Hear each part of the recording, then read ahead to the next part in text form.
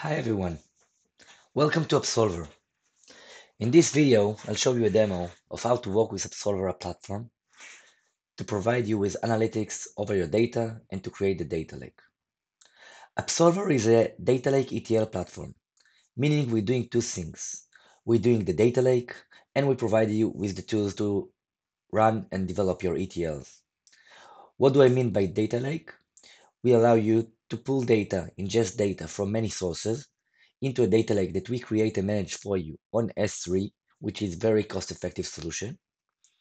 And on top of that data, we allow you to write ETLs and to send this data after you clean it, filter it, aggregate it, and enrich it to a target of your choice.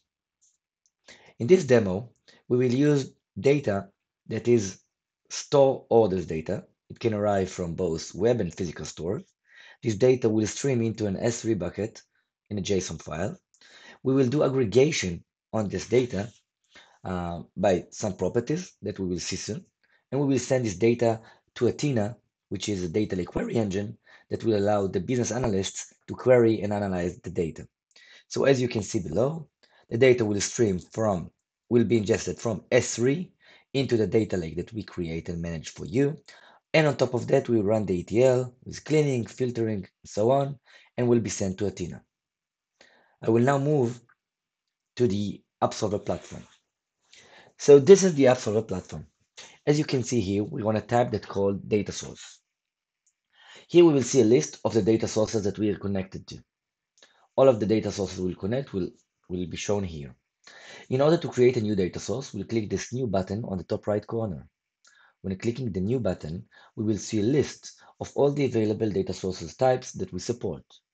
You can see here that we have files data sources like S3, we have streaming data sources like Kinesis or Kafka, and we can use databases as data sources like Oracle, SQL Server, Snowflake, and so on.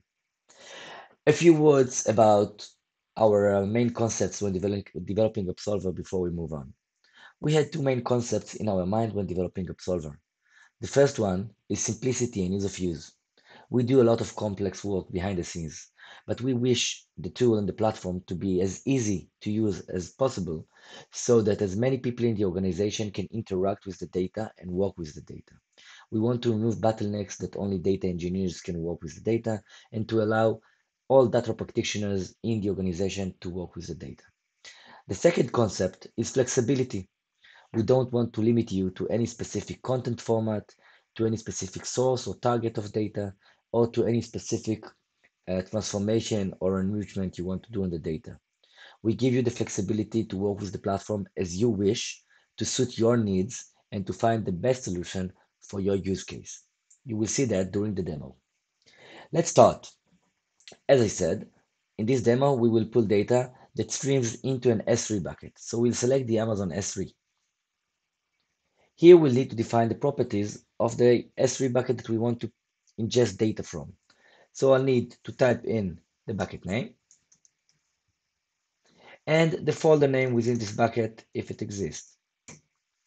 Once I've done that, Upsolver automatically behind the scenes is trying to um, analyze and automate some of the processes. One of the things that it does is to identify the files within this folder. As you can see here on the right, we have a list of the files and a, a, a blue V mark, meaning that these files can be processed and we understand and analyze them. One of the things that we analyze is the date pattern of the files. This allows me to process the files in the order that uh, they arrived. So we guarantee you that each event we will process will be processed in the order that it arrived. We also guarantee an exactly once processing of each file. Once I've seen that Upsolver automatically detected the date pattern, I can also see that it detected the content format as JSON, and we can continue. As I said before, flexibility is one of the main things that we support. So this can be JSON, the content format. It can also be CSV, XML, or almost any other format that you can think of. The last step in connecting to the data source is just give it a name. In this case, I will call it orders raw data. When I click continue, I'll be going to the validation screen. Here we will see a sample data, a sample uh, of the files that we read from the data source. and it will allow me to validate that I really am connected to the data source that I expected to connect to. Once I validated that this is indeed the data that I wish to connect to, I'll click create and I will start ingesting data from this data source. I will now move on to the same screen, but with a new with a data source that already has some data. Um, and this is a data source screen. Before I'm uh, taking a look on this screen, just to complete the creation of the data source, once I've completed creating it, Upsolver will automatically pull every new data that arrives in this data source to the data lake that we create and manage for you. So no jobs to uh, to maintain, no schedulers uh, to monitor. Upsolver will do everything automatically. Whenever a new data will arrive in the data source, we will pull it and store it in the data lake. Not only are we storing your data, we're also visualizing it. And this is the data source screen. On the left, we can see the schema of the data. This is schema on read, meaning that whenever a new file or data will arrive with schema, we will analyze the schema on read and we will show it here. It's not predefined, we haven't defined it anywhere.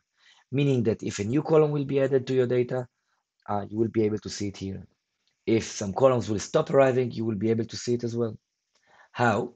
Let's, for example, click this order type column. We can see when it was first seen and when it was last seen, which allows me to know when it arrived and when it stopped arriving. We also collect other stats and metadata on our columns. So we can see specific columns for in how many events did it arrive, how many distinct values, and how many total values. We can also see the value distribution itself of the values within this column. So we can see the names and how much uh, the values and uh, what's the percentage. And we have this metadata and statistics for all of the columns. So this screen, as you can see here, it allows me to troubleshoot data issues a very in very early stage of the of the process. Not only when we're getting to the analytics uh, tool, but already on the data lake itself. So we can see here, for example, that we have an issue of uh, um, of uh, casing. Some of the uh, values are with capital letters and some are not. Just for example. So for every column, we uh, read the values and we keep the statistics, but we also provide a time graph that allows me to time travel and to drill down to specific point in time. In time. When I drill down to a specific point in time, all of the schema and metadata that we talked about will be updated in the UI to show that point in time. So we can drill down up to a single minute to see how the data looked at that specific minute and how the schema looked. This also allows me to troubleshoot data uh, quality issues. So this data source screen allows me to do two things. One of them, as I talked till now, the troubleshooting of the data. But the other side is it allows more and more people in the organization to investigate and learn and get to know my data and to build the ETL from a place of knowledge because we know the data, we know what it holds, we know how the values look like, and we know the data types. And now we can build the ETL on top of it and um, put the business logic that we want on top of that. So the data sources screen allows me, uh, gives me actually full observability into my raw data. And on top of that, I can build my output. And this I will be doing with the new output button on the top right corner. When I click the new output button, I will see a list of all the targets that we support. And again, Going back to flexibility, we give you the flexibility to choose the best target for your use case. So you can choose data lake query engines that will allow you to run ad hoc queries on raw data like Athena, like Qubole. We support databases like Elasticsearch for textual searches, Redshift and Snowflake for um, um, for dashboarding. We support files. We support sending the data back to streaming systems like Kinesis and Kafka. So you need to choose the best one for you, for the use case that you're developing. And of course, you can create many targets on top of every data, and you can switch between them in a, a very easy way in a click of a button. So as I mentioned before, in this demo, we will send the data to Athena. So we click Athena, and we'll give a name for this uh, for this target. We'll call it aggregated orders data by device type CT daily. And I click next. And now I'm going to the transformation screen. And this screen allows me to write my ETL. It looks the same for every target that you will choose. On the left, we see a list of uh, the columns, the actually the schema of the data source as we just saw. On the right, we will see the columns uh, and the schema that we will output to Athena. If I want to add a column that exists in the data source to the output, all I need to do is to click this plus button and I will add it. So I've added now a column that's called city. I can rename the column in the output right here through the UI. So I'll change the name to customer city. So far, I've added the column into my output and renamed it. Now I want to enrich my data to make some transformation over my data.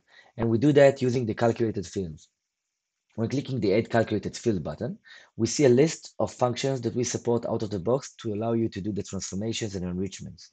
We support more than 200 functions out of the box. It can be numerical functions, type conversion functions, conditional functions, and more and more. Everything you can think of that will allow you to transform and enrich your data. But in case you see that the function you need does not exist, you can use uh, and enhance our platform using user-defined functions written in Python.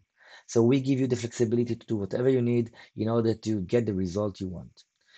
In this demo, we will use a function that called user agent parser that will allow us to get the device type from the user agent string. So I will need to set the attribute that I want to extract, in this case device type, the input column that holds the user agent, and an output name.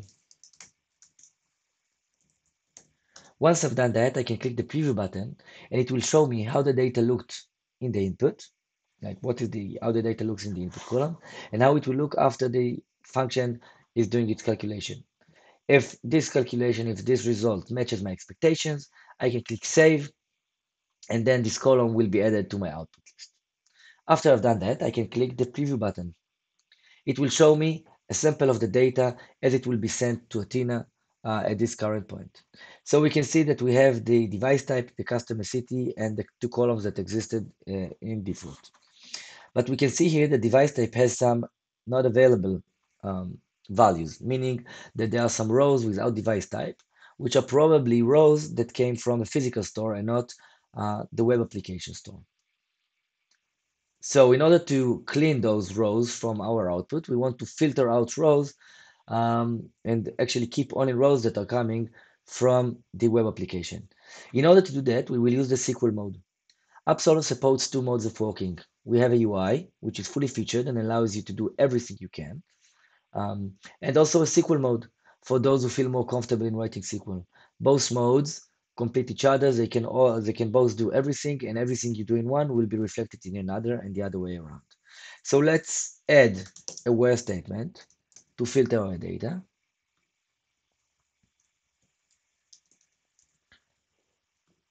And then we click preview again. And we can see that there are now no more rows without device type. Good. Now we said that we want to uh, do this output as an aggregated output. We want to aggregate the data. In order to do that, we click the Make Aggregated button. After clicking the Make Aggregated button, Upsolver automatically detected the columns that uh, he will do the group by on. So we have device type, city, and the partition date, which is daily. Um, we will remove this column, which is unnecessary. And now we want to add some aggregated functions. Clicking the Add Aggregation button will show me a list of the aggregation function we can use.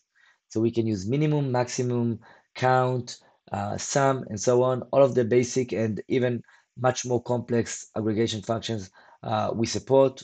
Again, you can see there's a lot of uh, aggregated functions. In this case, we want to get the average of the uh, total of the order. So the input of the average function will be net total.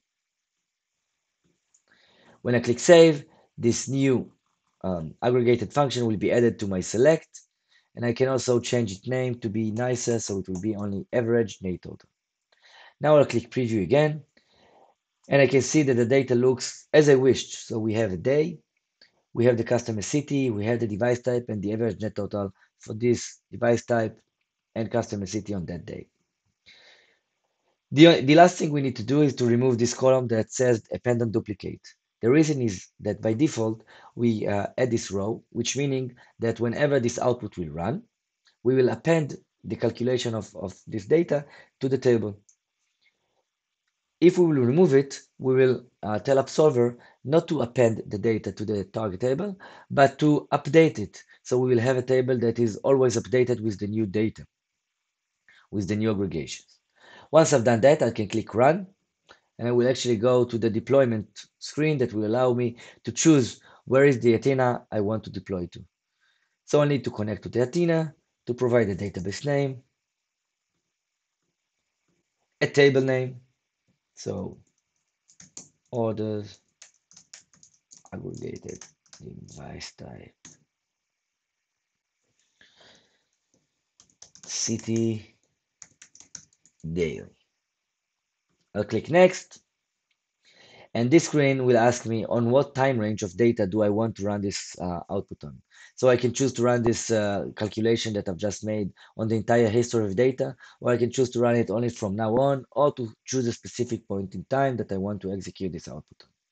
When I click deploy, I will actually finish my end-to-end -end flow. So I'm going back to the first slide that I showed you. What we've done today, the end-to-end -end flow, is to connect to an S3 bucket that has streaming data.